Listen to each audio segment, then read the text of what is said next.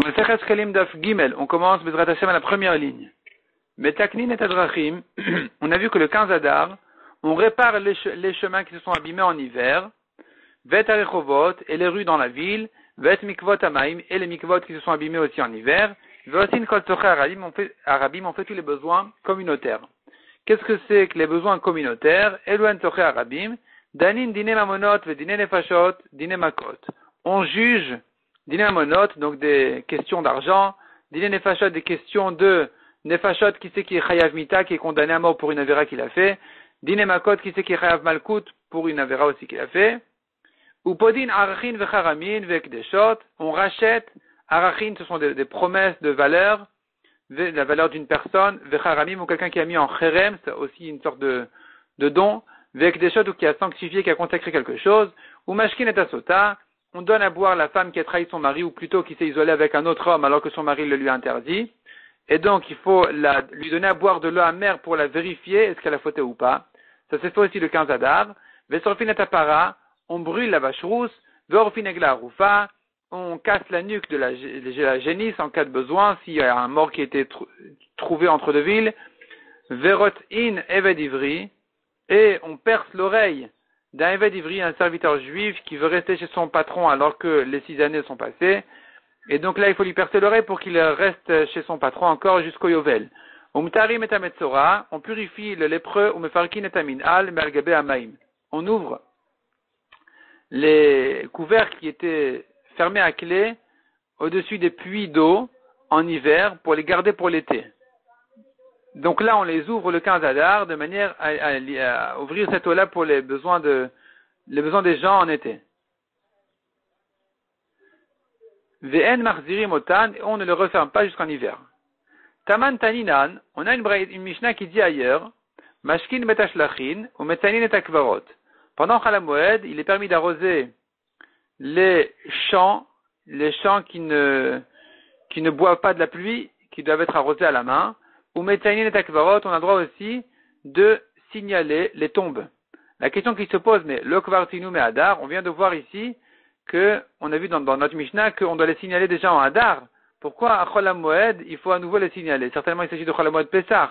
À quoi ça sert? Répond la Gemara Vetipater, Shiarad Shetef Shel Gshamim Veshatfu.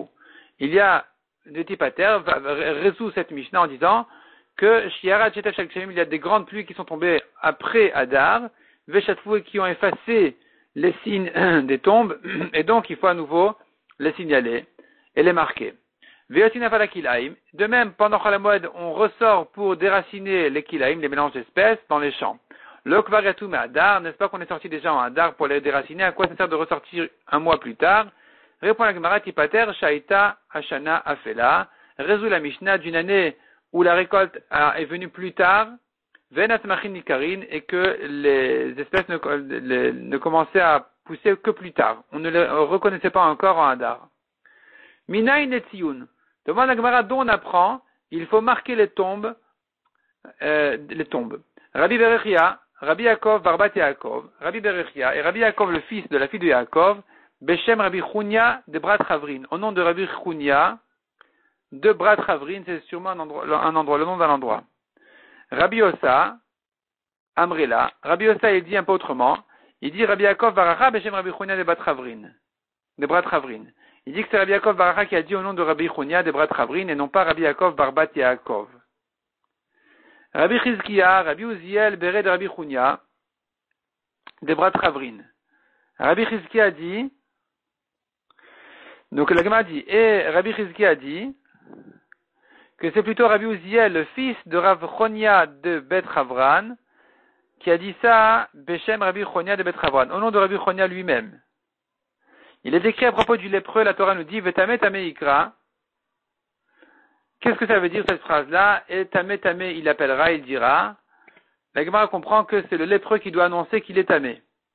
Il doit dire à tout le monde de s'éloigner de lui parce qu'il est tamé. Kedeshete Atuma Koralecha il faut que la Touma t'appelle de sa propre bouche, Vomer et et qu'elle te, dise éloigne-toi, sépare-toi. Donc il faut marquer les tombes pour que ce signe-là t'annonce de t'éloigner de la Touma. Rabbi Ila Beshem Rabbi Shmuel Bar Nachman, il ramène un autre passou qui dit, donc d'où on apprend qu'il faut marquer les tombes, on a encore un autre passou qui dit, Ve'avru ha'ovrim vont passer les, les passants ba'aretz sur, sur terre, verra et madame, il verra l'os d'un homme, ou venet l'otioun, il va construire sur lui un tioun. Un tioun, une tombe pour marquer qu'il y a ici un os.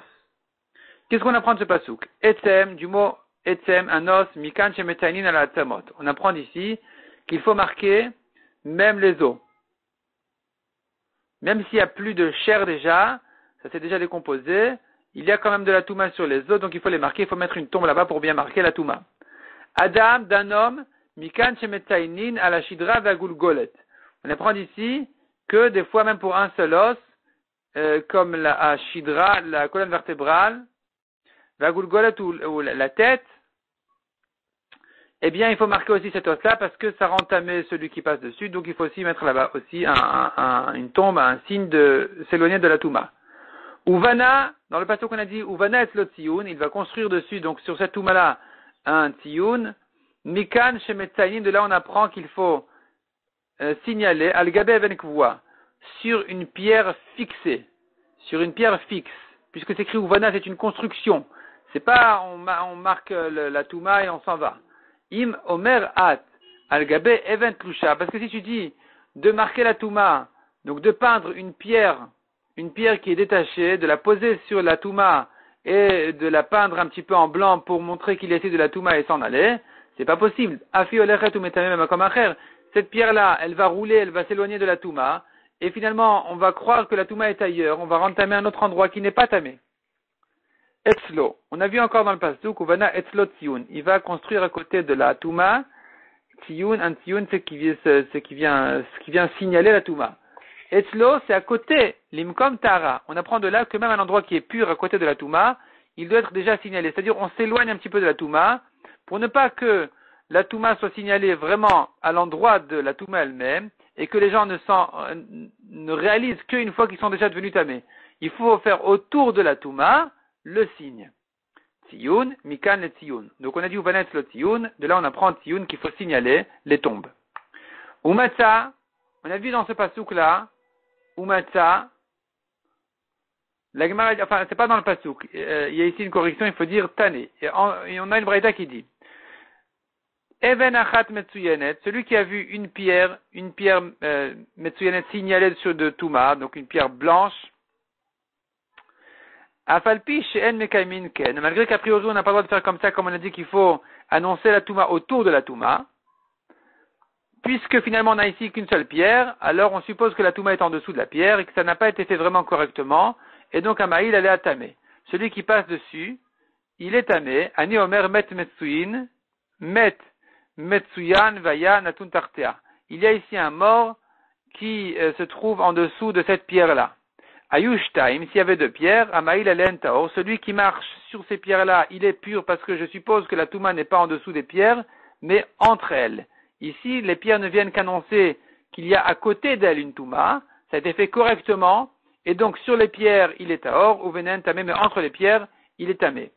s'il y avait un endroit labouré, la terre était travaillée entre les deux pierres, bentaim, entre les deux pierres, donc je suppose que la Touma n'est pas entre elles, et donc, on, devrait considérer ici Haren Kichidot, Kichidiot. Ce sont comme des pierres uniques, elles sont indépendantes l'une de l'autre, et donc la lacha sera Benen Taor, entre les pierres c'est pur, ou Slivotéen, il faut dire Vetartéen, et en dessous des pierres Tamé. La Touma est en dessous des pierres, elle est donc sur les la Touma elle est pour les pierres elles-mêmes, et pas entre elles dans ce cas-là. Puisque c'est labouré entre les deux pierres, je suppose que la Touma n'est pas entre elles, elle est en dessous des pierres. Tane, nous avons une braïta qui dit En metzainin on ne marque pas, on ne fait pas, on ne signale pas la touma de la chair d'un mort, shemanita kel parce qu'avec le temps, la, chair, donc la touma, elle va se décomposer, qu'il n'y aura plus de touma ici, de toumat oel. Il n'y aura plus de touma pour celui qui marche dessus. Donc s'il n'y a pas d'os, s'il n'y a pas une touma, s'il n'y a pas ici les, ossements de, du mort, on ne signale pas pour la chair uniquement. Rabbi Usta Barshunem, Ba Komer Rabbi Mana. Rabbi Usta a demandé à Rabbi Mana. Il ne se trouve pas ici qu'il va rendre impur les taharot rétroactivement parce que finalement, si tu ne marques pas la touma de cette chair-là qui a de la touma, quelqu'un va marcher dessus et ensuite il va prendre qu'il était tamé. Donc finalement, il devra jeter ses taharot, ses fruits purs. Amar lui a répondu, Rabbi Mana lui a répondu, Mutav. Il vaut mieux qu'il y ait ici un obstacle pour un moment temporaire. Ici, tant que la chair est là, il y a de la touma, c'est vrai. Donc c'est vrai qu'ici, on risque de rendre tamé pour rien des fruits, puisqu'on n'aura pas annoncé la touma. Il vaut mieux quand même ça plutôt que euh, de laisser ici, de marquer la touma. Et la touma, elle sera marquée bien après qu'elle existe encore, parce que la, viande, la, chair, quand elle est décomposée, elle n'a plus de toumatmet, elle a plus, enfin, il n'y a, plus de toumatoel pour celui qui la traverse. Et donc finalement, les gens vont croire qu'il y a ici de la touma, ils vont jeter leurs fruits pour rien. Donc il vaut mieux que on laisse cet obstacle-là momentanément, temporaire. Euh, il y a effectivement une touma qui n'est pas signalée, plutôt que de la signaler, et que finalement, une fois qu'elle n'existe plus cette touma-là, on continue à jeter pour rien les tarot. Mishnah suivante. Dans les Yerushalmi, ça s'appelle Alachabet. Amar Abiouda. Barishona, au début, Ayu, Ogrin Mashlichin Nifneen. Donc cette Mishnah se rapporte sur la de euh, nettoyer les champs des mélanges d'espèces. Au début, les shloucheb bedin, les envoyés du bedin, ils déracinaient les, mauvaises espèces dans les champs et ils jetaient ces plantes-là devant eux. Micherabu Avra une fois que, avec le temps, il y avait beaucoup de gens qui euh, profitaient de ça en Avera, Ayu Mashlichin Ladrachim. Les shloucheb bedin déracinaient les mélanges d'espèces, les kilaïm, et ils les jetaient sur les chemins en dehors du champ pour que le propriétaire n'en profite pas. Et ensuite, le badin a institué de faire rendre tout le champ efker. Amar Rabbi Yehuda la reprend les paroles de Rabbi Yehuda. Tane, Amar Rabbi Tane, on a une breta qui dit, et là ça sera mieux expliqué de quel avéra il s'agit. Amar Rabbi Yehuda barishona au début, ayu okrin mashlichin nifnen, il déracinait les kilaïm et il les jetait devant le propriétaire du champ. Et les propriétaires des champs étaient très contents, deux fois. Achat, première joie, Shayou Menakshin Sadoten, voilà que les Shluchet Bedin faisaient leur travail, le travail à leur place, ils, ils nettoyaient leurs champs des mauvaises espèces. Deuxièmement, ils profitaient du Kilaim lui-même en donnant à leurs bêtes à manger. Puisque les Shluchet Bedin avaient déraciné ces espèces-là en les rejetant devant eux, et donc ces gens-là, les vrais Avera, en profitaient pour les donner à leurs bêtes, à leurs animaux. Misherabu Avra Vera,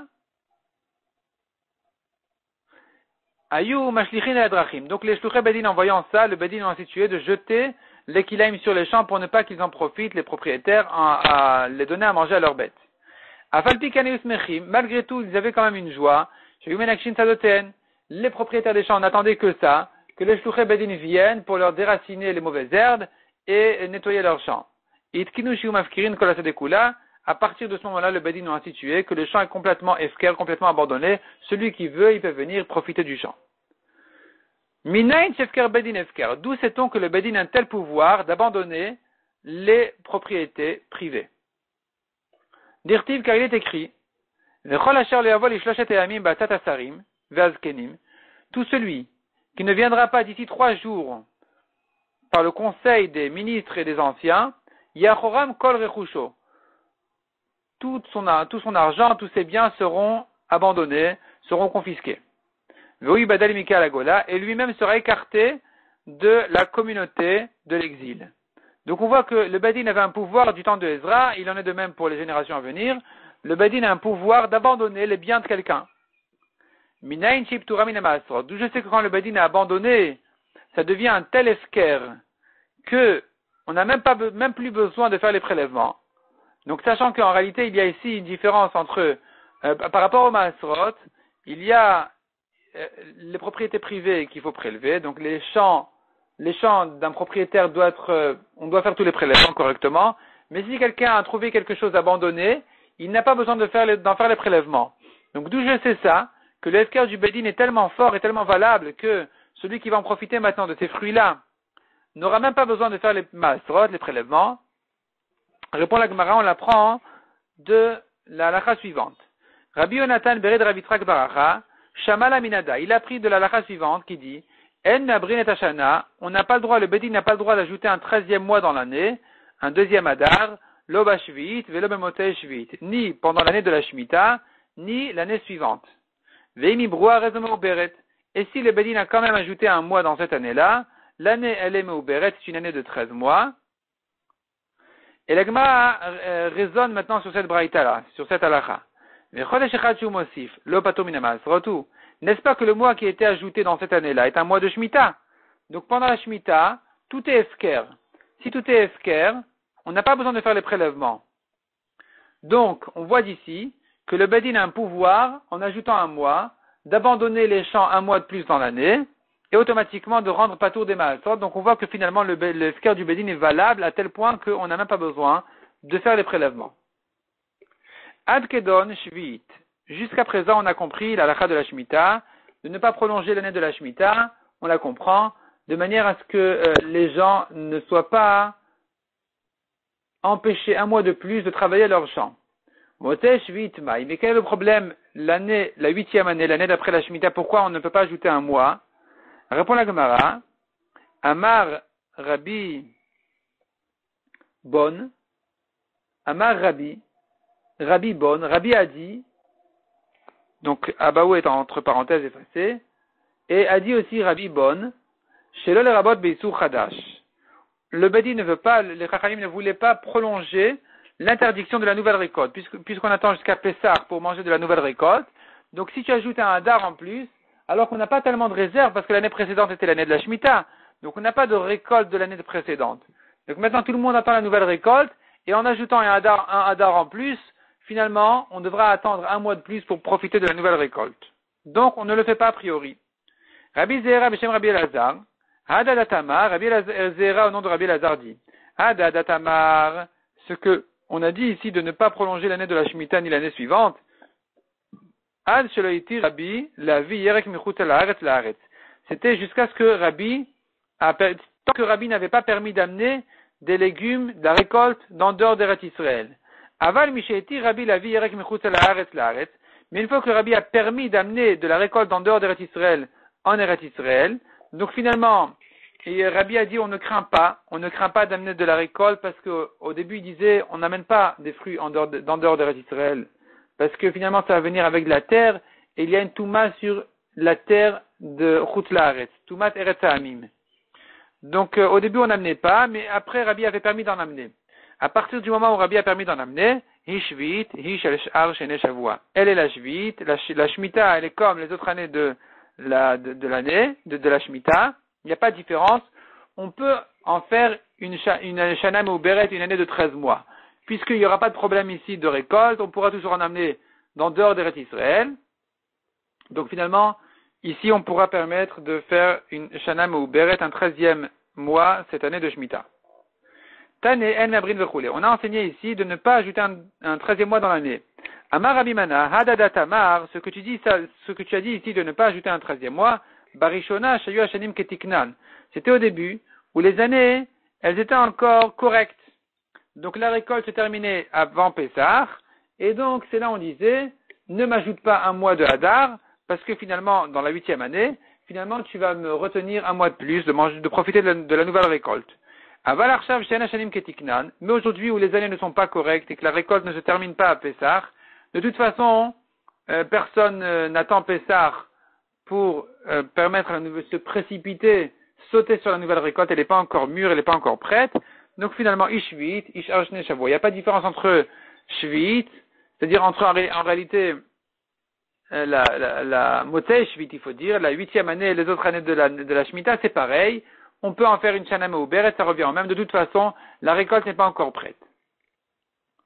Tani, on a une braïta qui dit, Shelbet Rabban Gamliel Ibroua, la famille de Rabban Gamliel, ils ont fait une chaname ou beret un treizième mois, bemotesh vit miyad, immédiatement, à la sortie de la septième année, à la sortie de la Shemitah. Donc la huitième année, ils l'ont fait, chanam ou beret, comme on a dit, qu'aujourd'hui, euh, on a le droit d'amener des fruits dans dehors d'Eretz Israël, il n'y a plus de problème. Amar Rabbi Aboun. In minada, let achma minaklum. In minada, si c'est d'ici, si c'est d'ici que tu amènes une preuve que, on revient pas en arrière, le Efker Bedin Efker, si tu veux me prouver que le Bedin a le pouvoir d'abandonner les champs et les fruits de la récolte de quelqu'un, à tel point que on n'a même pas besoin de faire les maasot ensuite, si tu viens, si tu viens me prouver cette halakha d'ici, de la Shemitah où le Bedin a un pouvoir bediavad d'en faire une shanam ou beret, d'ajouter un treizième mois et que finalement tout sera abandonné et qu'on n'aura pas besoin de faire les maasot, let atchmamina klum. Tu n'entends rien d'ici, tu n'as aucune preuve d'ici. Pourquoi tu n'as pas de preuve d'ici? Parce que ici, quand le Bedin en fait une shanam ou beret en réalité, c'est pas, c'est pas vraiment, c'est une décision du Bedin, c'est vrai, mais c'est pas le raisonnement du Bedin, c'est basé sur des psukim de la Torah. La Torah dit, Shamor et Trodesha Aviv. Il faut garder le mois du printemps. Shomreu, Shiaviu Bechidusho. Il faut, le Bedin a le devoir de surveiller que le mois de Nissan soit au printemps. Donc au printemps, ça veut dire quand la récolte a mûri déjà, elle est, elle est prête. Donc si le Bedin voit une raison d'ajouter un Hadar pour repousser le mois de Nissan au printemps, ça n'est pas qu'un pouvoir du Bedin Midrabanan, c'est, vrai, c'est pas que Efker Bedin Efker. On l'apprend des psukim, c'est la Torah qui attend ça. C'est la Torah qui demande ça. Donc quand le Bedin a ajouté un mois en réalité, c'est un pouvoir de la Torah. C'est la Torah qui est intéressée que le, mois de Nissan tombe en printemps. Et donc finalement, et ici, c'est clair que c'est un pouvoir de la Torah d'abandonner les champs un mois de plus. Mais on n'a pas de preuve d'ici pour un Efker Bedin où le Bedin a décidé, pas pour une raison de la Torah, d'abandonner les biens de quelqu'un. Vehaïda Amar. Vehaïda Amar. Mais c'est d'ici que tu pourras le prouver quand même, que le Bedin a le pouvoir d'abandonner à tel point qu'on n'a pas besoin de faire les Mahasrot. Donc, Vehaïda Amrada. Mais c'est cette euh, qui va nous apprendre quand même que le Bedin a le pouvoir d'abandonner. Quel halakha? Gadish Shelolukartav. Un tas de blé, un tas de récolte qui n'a pas été ramassé en dessous. C'est-à-dire qu'il y avait en dessous, on a, on a mis en tas du blé sur un endroit, sur un endroit dans le champ où il restait encore le blé des pauvres. Il y avait des gerbes qui avaient été oubliées là-bas, ou disons plutôt des épis qui appartenaient aux pauvres qui ont été oubliés là-bas, qui ont été, euh, il, y a, la mitzvah de leket et shikra en fait. Leket, ça veut dire un épi de blé ou deux appartiennent aux pauvres, qui sont tombés comme ça, ça appartient aux pauvres. Le propriétaire n'a pas le droit de les ramasser. De même, s'il en a oublié, il n'a pas le droit de les ramasser. Et voilà qu'il a entassé son blé, sa récolte au-dessus de ça, avant de balayer tout ce qui appartient aux pauvres, avant de laisser les pauvres prendre. Donc finalement ici un mélange de blé qui appartient aux pauvres avec sa récolte à lui-même. Qu'est-ce qu'on fait? Donc ça c'est gadish chez tartav. Un gadish, un tas de blé chez qui n'a pas été ramassé, le leket, les épis des pauvres, n'ont pas été ramassés en dessous de ce tartav, en dessous de euh, ce tas-là. Kolanogot baaret, aren shelanim. Tout ce qui touche le sol appartient aux pauvres. Verma Rabbi Ami, on tourne la page. Rabbi Ami a dit là-dessus. Beshem Rabbi Shimon Akish, de Bet Shammai. Ça, c'est la vie de Bet Shammai. Qui c'est qui peut dire que tout appartient aux pauvres et que c'est Efker à tel point que les pauvres n'ont pas besoin de faire les prélèvements? Ça va comme Beth qui pense que Efker est l'anime, Efker. Nous avons une marloquette entre Beth et Bethil. Est-ce que quelqu'un peut abandonner quelque chose uniquement pour les pauvres ou non? Ou bien Efker n'est que s'il abandonnait pour tout le monde, pauvre comme riche, riche comme pauvre. Donc nous avons ici une marloquette Beth et Bethilel. Et certainement la lacha qui me dit que le tas de blé en dessous duquel il y a des épis aux pauvres, on a dit que tout ce qui est en dessous tout ce qui touche le sol appartient aux pauvres. Sous-entendu, ils n'ont même pas besoin de faire les masrot. C'est-à-dire que ici j'ai un efker l'anim. Ça a été abandonné pour les pauvres uniquement. C'est considéré comme un efker. Ça va comme Bet et pas comme Bet C'est ce que dit dessus Resh Lakish. Deike Bet car si ça va comme Bet Anim Asrin. On aurait dû dire que c'est vrai que ça appartient aux pauvres, mais ils doivent faire quand même leur, prélèvement parce que c'est pas un vrai efker. Donc d'abord, c'est pas un leket qui appartient aux pauvres sans prélèvement c'est pas non plus un vrai sker qui appartient à tout le monde sans prélèvement. C'est un, c'est un, euh, autre chose. Les Rachamim ont dit de, donner tout ça aux pauvres, mais ils devraient faire les prélèvements. Amal et Rabbi aussi. Rabbi aussi lui a répondu à Resh Lakish, il a dit non. À, Rabbi Ami, il lui a dit non. C'est pas ça le sens de la Braïta. En réalité, Shamanushu Pato Mishum On a entendu que selon tout le monde, même selon Bethilel, c'est pas tour de maaser ici, les pauvres n'ont pas besoin de faire les prélèvements, c'est une amende au balabait qui a entassé sa récolte au-dessus de ce qui appartenait aux pauvres, et donc le, Bedin a fait ce kna, cette amende-là, et dorénavant ça devient un efker, le Bedin a le pouvoir de le rendre efker à tel point que les pauvres peuvent ramasser sans faire les prélèvements. Donc on voit d'ici, efker Bedin, efker. De là on apprend que le le bedin a le pouvoir d'abandonner les biens de quelqu'un. Alacha Gimel, Mishnah suivante. Bachamisha Sarbo, le 15 Adar, Shulchanot Ayu Yoshvin Bamdina. Shulchanot, ça veut dire en réalité c'est comme des banquiers, des tables qui viennent, de, des gens qui viennent ramasser, recevoir le Machatit Shekel des gens. Donc Ayu Yoshvin Bamdina, ils étaient assis dans plusieurs endroits dans la ville. Bekafé, le 25 Adar, Yashvu Bamikdash, ils étaient assis déjà au Mikdash. Mishashvu Bamikdash, depuis le 25 Adar où ils étaient déjà installés au Mikdash pour recevoir le Machatit Shekel, ils trilent les Mashken, ont commencé à prendre de force. Donc, celui qui n'avait pas participé au Machatit Shekel, on rentrait chez lui, on venait chez lui pour prendre des gages, pour prendre de force. Et mime Mashkenin, de qui on prend de force? Levim ve Israelim, Vegerim ve et On prend aussi bien des Levim que des Israélim, pas des Kohanim comme on verra ensuite, on prend aussi des convertis ou bien des esclaves qui ont été libérés. Avalon nashim ve'avadim uktani, mais pas des femmes ou des esclaves ou des, ni des enfants. Vechol katan chitri la eliado, un enfant, tout enfant, dont le père a donné une fois le machatit shekel pour lui, chouvenopose qui ne s'arrête plus. Il doit continuer à donner toutes les années. En. On ne prend pas de force des kohanim, mipne shalom pour des raisons de shalom, de paix. La Gemara va expliquer de quoi il s'agit exactement. Amar Rabbi Yehuda. Eid ben Bouchi beyavne. Rabbi dit, Ben Bouchi, le nom d'un a témoigné dans la ville de Yavne. Kol Kohen Sheshokel et Nochote. Tout Kohen qui donne, qui participe au Machatit Shekel ne faute pas. C'est permis au Kohanim quand même de participer au Machatit Shekel malgré que ce n'est pas obligatoire. Amar le Rabban Yochanan ben Zakai Loki, non, Rabbi Yochanan ben Zakai lui dit non, c'est pas comme ça. Et la Kol Kohen chez Noshokel Chote, un Kohen qui ne participe pas au Machatit Shekel, il faute il a l'obligation de le faire. Et là, chaque Kohanim d'Orshim Mikraz et simplement c'est les Kohanim qui se trompent de faire une dracha à leur profit en disant on n'est pas tour du Maratit à Shekel. Pourquoi? Parce que la Torah dit Vechol minchat Kohen kalil Toute mincha, toute offrande de farine d'un Kohen sera brûlée entièrement et ne sera pas mangée. Et donc les Kohanim disent comme ça. Si vraiment on participe au Machatit Shekel.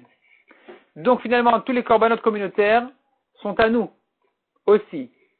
Et donc il se trouve que le korban à Omer, le korban Omer, donc l'offrande d'orge, qui est fait le 16 Nissan, ou Shte Alechem, ou les deux pains de blé qui sont faits à Shavuot, Velechem Apanim, ou les douze pains, nous, s'ils sont à nous, si on participe, et Arne Khalil, comment est-ce qu'on peut les manger? On n'aurait pas le droit de les manger puisque ça fait, c'est considéré comme une mincha d'un Kohen. La mincha d'un Kohen n'est pas mangée.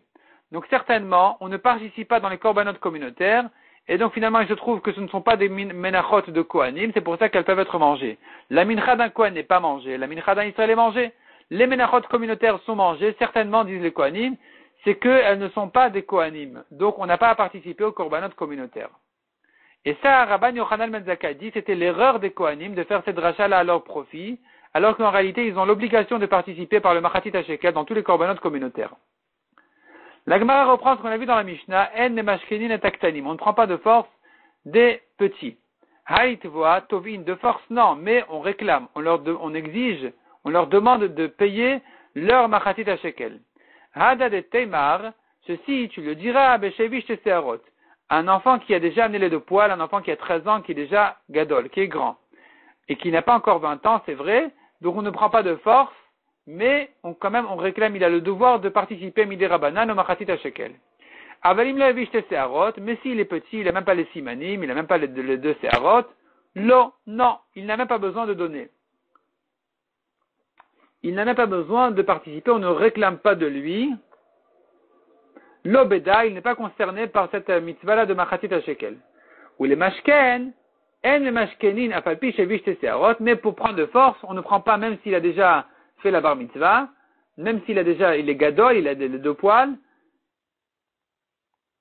parce qu'il n'est pas encore 20 ans. Ça, on attend l'âge de 20 ans. Est-ce qu'on a vu dans la Mishnah de ne pas prendre des Kohanim de force, mais d'arkei à Kavod C'est une question non pas de shalom, c'est une question d'honneur. D'honneur par rapport aux Kohanim. Parce que d'arkei shalom, en réalité, ça, devrait correspondre à tout le monde, pas qu'aux Kohanim. Si tu prends de force, il y aura des disputes de partout. Pourquoi est-ce que c'est une raison que, en ce qui concerne les Kohanim, de ne pas prendre de force?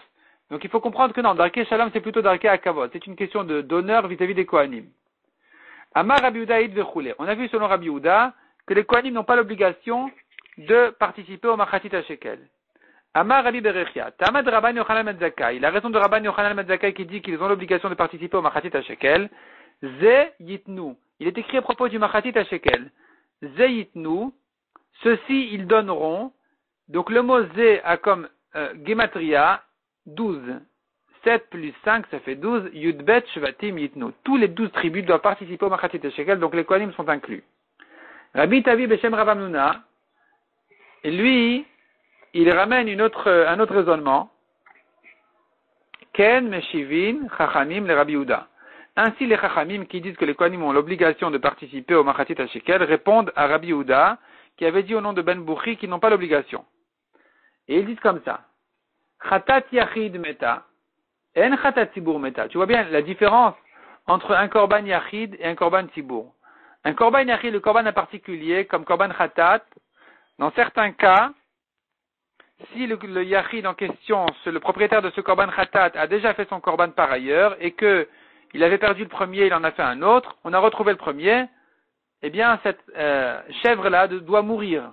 Tandis que En Khatat Tibur Meta, cette n'est pas valable en ce qui concerne un Korban communautaire, même s'ils ont déjà été euh, réparés, déjà été pardonnés par un autre Korban, si on a retrouvé le premier, on ne l'envoie pas mourir. De même, Minchat et Achid Kreva Kalil. On aura aussi une distinction entre un Korban Yachid et un Korban Tibour, que si c'est un Korban Yachid, une offrande de farine d'un Kohen particulier, ça c'est vrai que c'est Kreva Kalil, elle est brûlée entièrement. Tandis que cette halakha ne concerne pas le Korban communautaire. Ve'el Minchat Tibour Kreva Kalil. La Mincha communautaire n'est pas brûlée entièrement, même si elle appartient aussi à des Kohanim. Donc les Kohanim n'ont aucun problème de participer au Korbanot Tibour par leur Machatit Shekel, et malgré tout, leurs Menachot, les Menachot communautaires, ne seront pas comme les Menachot d'un Kohen en particulier. Le Kohen en particulier qui fait sa mincha, il ne la mange pas, elle est brûlée, mais la mincha communautaire est mangée. C'est pourquoi le Homer, les deux pains de Shavuot, Alechem et les Lechem Apanim, les douze pains, sont mangés malgré la participation des Kohanim. C'est pas une mincha d'un Kohen, c'est une mincha communautaire, comme on a vu les distinctions entre un Korban Yachid et un Korban Tibour. Vekashia, on a sur cette comparaison-là contre Rabbi Yehuda une kashia, Meshivin le Adam, d'avoir chez nous modebo, est-ce qu'on objecte quelqu'un par une halakha qui n'est pas d'accord avec? Detnan, nous on a objecté Rabbi Yehuda par l'halakha qui disait Khatat Yachid Meta, En Khatat Tibur Meta. Le korban Khatat en particulier va mourir s'il a déjà été pardonné par ailleurs et pas pour un korban Tibur. Or Rabbi Yehuda n'est pas d'accord avec ça. Lui il dit donc, la Gemara ramène une Mishnah qui dit Shen le Korban Khatat d'un Tibour ne meurt pas, s'il a été pardonné par ailleurs, Rabbi Uda Omer Tamout. Selon Rabbi Uda, oui, ça va mourir quand même. Donc finalement, on n'a pas raison d'objecter Rabbi Uda par cette euh, preuve-là de distinction entre Korban Yachid et Korban Tibour qu'on a vu à propos de Korban Khatat. Rabbi Uda n'est pas d'accord avec ça. Vehu Motivlan, et lui, Rabbi Uda, il nous répond. Rabbi Uda nous répond à ce que les Chachamim lui ont dit, en disant Lo nidvat yachid. Lo nidvat yachidi. Est-ce que l'eshkalim n'est pas considéré comme un korban yachid? Chacun amène son machatit shekel de sa poche. Donc pourquoi est-ce que vous voulez considérer que c'est un korban tibour que les kohanim peuvent amener? Donc en dehors du fait déjà, dit la Gemara, la Gemara ne répond pas à cette question-là. On avait dit tu ne peux pas objecter à Houda alors que ça va contre lui. Alors que, c'est-à-dire, alors que la, la, la, preuve que tu amènes contre lui, il n'est même pas d'accord avec elle. Bon, ça, la Gemara laisse de côté parce que finalement, on pourrait distinguer entre un korban yachid et un korban tibour même sans s'appuyer sur la distinction entre khatat yachid et khatat tibour. Laissons ça de côté. Rabbi donne une autre réponse. Il dit, les kohanim, eux, s'ils participent au korbanot tibour, au machatit shekel, finalement, c'est une c'est le don d'un particulier. Et donc, on ne pourrait pas manger des minchat tibour, du homer et du shte alechem et du lechem apanim. Ça devrait être brûlé si les kohanim participent. Mais les chachamim lui disent non.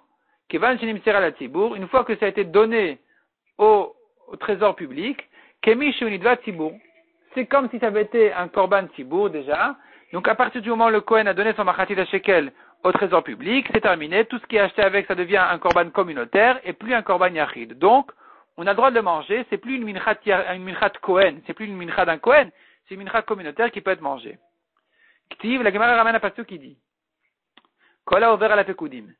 Tout celui qui passe parmi les comtés doit participer au machatit shekel. De quoi il s'agit? De quel passage il s'agit? Rabbi Uda et Rabbi Nechemia sont en discussion là-dessus. Kol davar beyama iten. Un des deux dit, tout celui qui a traversé la mer, qui a passé la mer, doit participer au machatit à shekel. Donc finalement, ça concerne aussi les Kohanim. Vecharana Amar, et l'autre dit, kol davar al D'ailleurs, celui qui est passé devant euh, Moshe pour être compté, Yiten devra participer au machatit shekel. Donc ça ne concerne pas les Kohanim qui n'étaient pas passés devant Moshe pour être comptés, c'est Moshe qui allait dans les tentes des Kohanim pour les compter. Des Lévi'im en général pour les compter.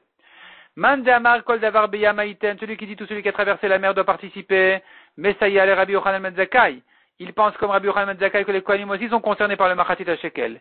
Mandamar kol davar al pikudayiten. Messaya le Ben Mais celui qui dit celui qui est passé parmi les comtés devant Moshe, c'est lui qui devra participer au Machatit Shekel.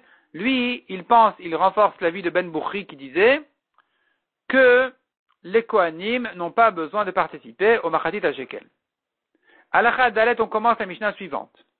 Afalpi en mashkenin nashim uktanim. Malgré qu'on a vu dans la Mishnah précédente de ne pas prendre de force le machatit shekel des femmes, des esclaves ou des enfants, avalim shaklu mekablin miadan. Si ils l'ont donné de même, on les reçoit, on les accepte. Tandis que, anochi ve'akuti chez shaklu, le goy ou le kuti, le kuti c'est une nation de convertis qui sont mal convertis, si eux ont participé au machatit shekel, en mekablin men, on n'accepte pas on ne reçoit pas d'eux. Ve'en mekavlin mi adam, on ne reçoit pas d'eux non plus des, des goïms, qui nezavin, ve'ki nezavot, ve'ki neyoldot, ve'chataot, ve'ashamot. Donc les korbanot de volaille, n'est de euh, donc ken, c'est un korban de volaille, chatat et ola, de volaille. Et ça, ça sert à purifier les tmeim, les avim ou les avot qui ont eu un écoulement impur ou les yodot, les femmes qui ont accouché. Donc les goïms qui amènent ces corbanotes-là, on ne les reçoit pas. Des chataot de même un korban chatat ou hacham qui a été amené pour réparer une faute d'un goy, on ne la prend pas. On ne prend pas ce korban-là. Zéaklal, voici la règle. Kol shenidar venidav mekablin miadan. Un korban qui vient en vœu, on le reçoit des goïms. Kol shenonidar venidav, mais ce qui n'est pas, ce qui ne vient pas en vœu, en mekablin miadan, on n'accepte pas des goïms. On voit aussi clairement dans les psukim à propos de Ezra, qui dit que quand les Koutim voulaient aider à construire le Beth Amikdash, on a refusé, comme il est écrit Lolachem velanu livnot bait lelokenu. Ce n'est pas pour vous et pour nous de construire une maison pour notre Dieu.